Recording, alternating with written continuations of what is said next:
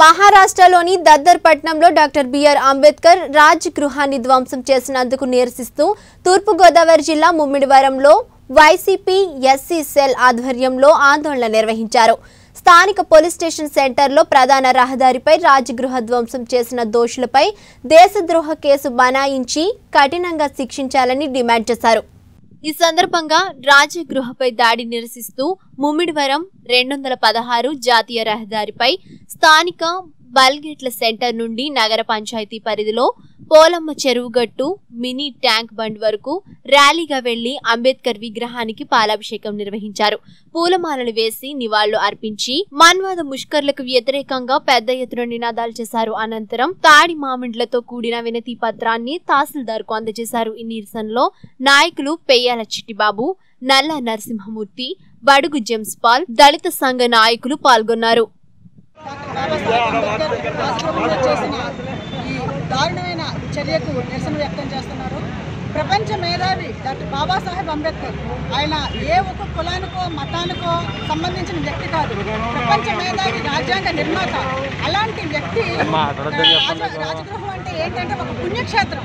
అలాంటి పుణ్యక్షేత్రం ప్రపంచ దేశాలన్నింటి చోట్ల నుంచి కూడా వచ్చి అందరూ దర్శించుకొని ఎంతో హ్యాపీగా ఫీల్ అవుతున్నారు.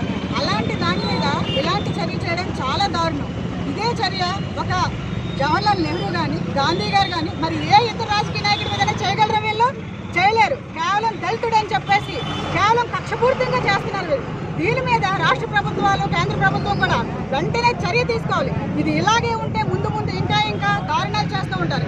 కాబట్టి దళిత సంఘాలే కాకుండా ఇది కేవలం దళితులకే సంబంధించింది కాదని కేవలం దళితులకి సంబంధించిన కార్యక్రమంలో చూడకుండా ప్రతి కులం నుంచి ఈ రాజ్యాంగాన్ని చదివిన ప్రతి ఒక్కరు కూడా ఈ జరిగిన కా- దారుణ కాండని నిర్లక్ష్యంగా ఈ నిర్లక్ష్యాన్ని నిరసిస్తూ ప్రతి ఒక్కరు చర్య చేయాలని చెప్పేసి మేమందరం కూడా దీని మీద ఎంతవరకైనా వెళ్తాము.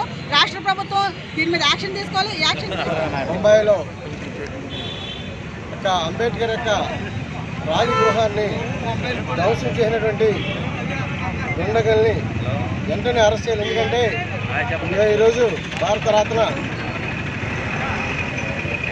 బాబాసాహెబ్ అంబేద్కర్ యొక్క ఆయన యొక్క కళ సాధన ఇక రాజ్భవన్ని ఆయన కూలగొట్టడం చాలా దారుణం. ఎందుకంటే ఈరోజు అన్ని వర్గాలకి అన్ని మతాలకి కూడా రాజ్యాంగ నిర్మాత అయినటువంటి అంబేద్కర్ యొక్క చేసినటువంటి సేవలు ఇవాళ యావత్ భారతదేశాన్ని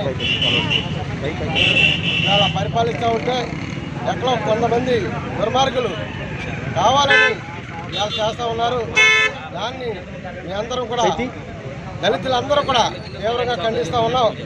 దీన్ని ప్రభుత్వం కేంద్ర ప్రభుత్వం దీన్ని పూర్తిగా తీసుకుని వా చగిన చర్య తీసుకోవాలి. ఎందుకంటే అంతవరకు ఈ నిరసన చక్రం ఆగం ఎందుకంటే ఈరోజు నా ప్రీతం ముఖ్యమంత్రి జగన్మోహన్ రెడ్డి గారు ఇవాళ అమరావతిలో నడిపట్టిన నూట ఇరవై ఐదు అడుగుల వ్యక్తి విగ్రహాన్ని ఆయన ఆవిష్కరిస్తూ ఉంటే దీనికి తట్టుకోలేక కొంతమంది దుర్మార్గులు చేసినట్టు